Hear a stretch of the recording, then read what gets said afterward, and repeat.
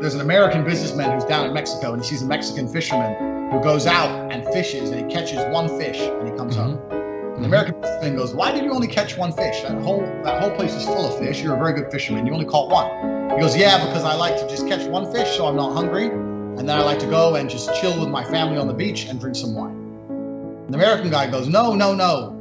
That's not what you do. You need to go out there and catch as many fish as possible. You can sell them for profit.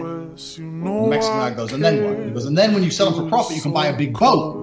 He goes, okay. And he goes, and with the big boat, you can catch even more fish. And you can have a fleet of boats. And when you have a fleet of boats, you can build this huge company. You can put it on the stock exchange. And once you put it on the stock exchange, you can sell it all, and you'll be a billionaire. Mhm. Mexican guy goes, okay, well, well, how long will that take? And the American says, well, that'll take about 20 years. The Mexican guy goes, okay, after 20 years and I do all these things, then I've sold my fishing company, then what do I do?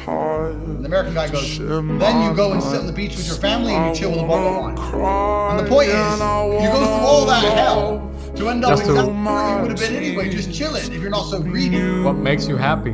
What makes you happy? If that's what you want to do, then just do it.